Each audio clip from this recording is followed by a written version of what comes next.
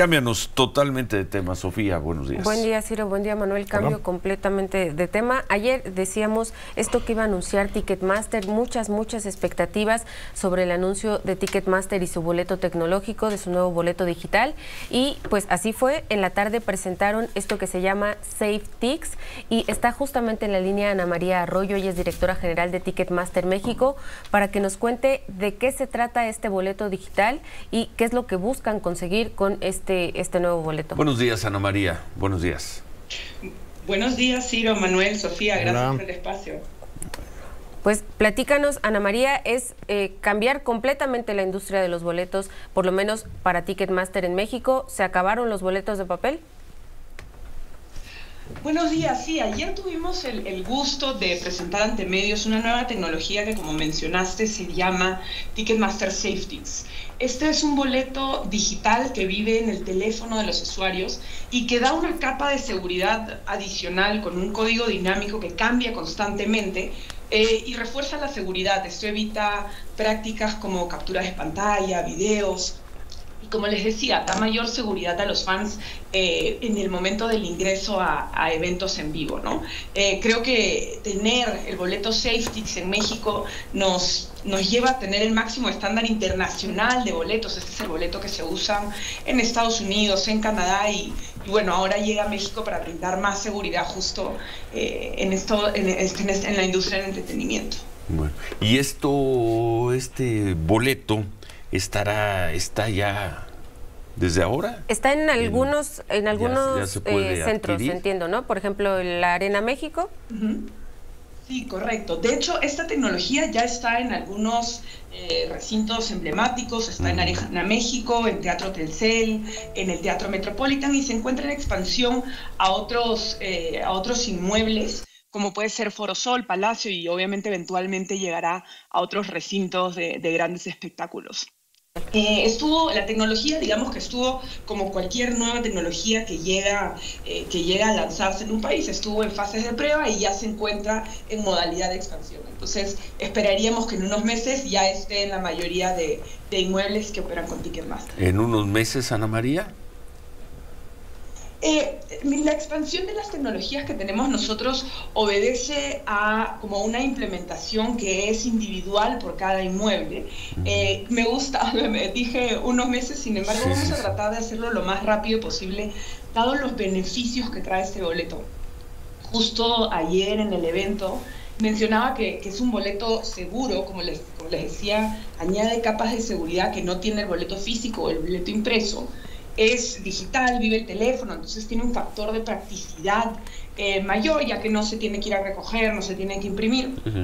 y, bueno, lo último ahí es que es transferible, ¿no? Entonces lo hace también un poco más práctico que el tener que estar repartiendo boletos físicos. Ana María. Eh, Justo con el tema de la transferencia, ayer surgía la duda de la reventa, porque uno de los problemas en México con el boletaje es justamente la reventa, que sí está regulada en otros países o que por lo menos lo puedes hacer de manera legal en, los, en las aplicaciones. Tú puedes poner tu boleto en la venta para que alguien más te lo compre. Eso todavía no lo tienen implementado.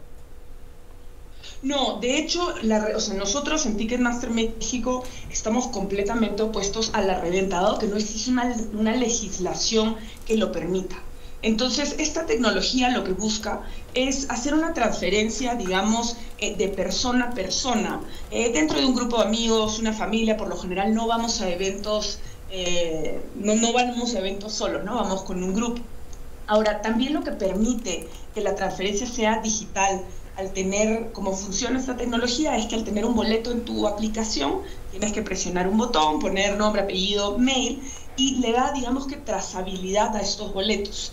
Eh, el boleto viaja de una cuenta Ticketmaster a otra cuenta Ticketmaster y nosotros podemos, digamos que, observar el movimiento del boleto, cosa que no se puede hacer con un boleto físico o un boleto impreso. Entonces eso nos permite detectar patrones y a través de tecnología ver si identificamos eh, patrones que no correspondan al uso que se le debe dar a los boletos. Entonces, obviamente incrementa las capacidades que tenemos eh, con los boletos. Bueno, Pues ojalá, no sea dentro de muchos meses, ojalá la compra pueda ser, es un proceso que se normalice y muy pronto sea, compraste tu boleto, sí lo compré con la aplicación, y aquí lo tengo en mi, en mi teléfono y terminen los problemas de reventas, que nunca más se vuelva a dar unos casos raros como el del concierto de Bad Bunny en diciembre del año pasado.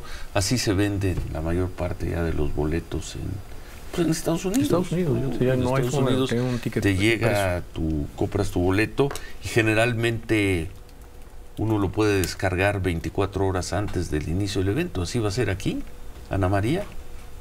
¿O cómo va a ser? Eh, y justo, sí. les cuento. les suponer que, que, yo compro, compro un boleto para un evento que va a tener lugar el próximo martes, el martes de la próxima semana, siete días. Lo compro con siete días de anticipación hago mi operación, ¿en qué momento puedo descargar el boleto?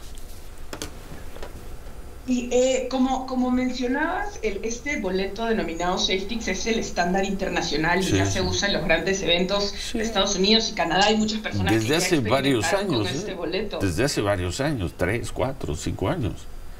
Ha estado, ha estado en expansión en los últimos años. Justo en el evento de ayer, nuestro presidente global mencionaba que llegamos al, número de 20 millones de scans a nivel global. Eh, tiene, no, no, llega a tener tres años, es una tecnología más, reciente, pero sí ya, pero sí ya está completamente, digamos que adoptada en Estados Unidos. A tu pregunta de qué pasa si yo compro un boleto un martes, dado que esta tecnología tiene, digamos que capas adicionales de seguridad, como un mm. código cambiante eh, y elementos dinámicos, los boletos podrían estar eh, disponibles en la aplicación inmediatamente. De inmediato. De inmediato. Exacto. Exacto. Y, de hecho los invito a probarlas, estas tecnologías en los inmuebles que le mencioné. Al comprar el boleto ya inmediatamente en el teléfono y al llegar al recinto se puede presentar ya sea en la aplicación, ya sea en un browser o por último bajándolo al wallet y con la proximidad con la lectora se permite el ingreso. Entonces definitivamente mucho más simple, mucho más rápido.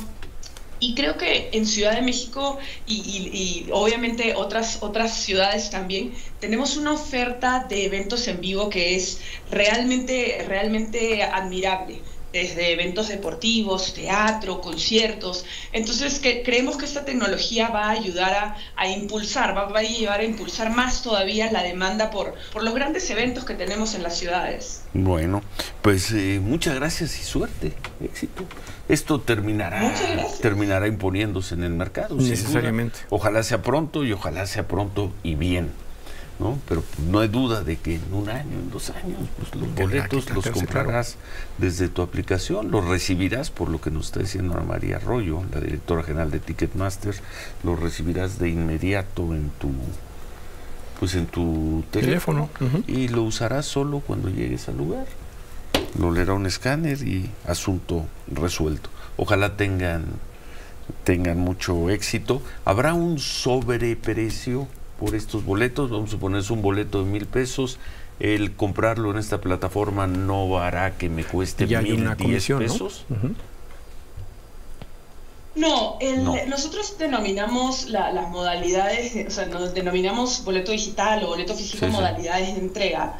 Eh, el boleto digital, dado que no tiene, digamos que costos de impresión o de entrega, de hecho no va a tener este, este cargo por impresión. Eh, el boleto de mil pesos yo lo voy a comprar en, mil, pesos. Correcto, correcto. Y de hecho la opción de boleto físico se, se mantiene, entonces se puede elegir tenerlo impreso o por boleto físico, por boleto digital. Como ustedes mencionaban, nosotros creemos que este dentro de un tiempo va a ser el estándar. Bueno, pues ojalá sea pronto. Ojalá sea pronto y bien. Exacto. Bueno, muchas gracias Ana María Arroyo, director general de Ticketmaster México. Muchas gracias. Gracias a ustedes por el espacio.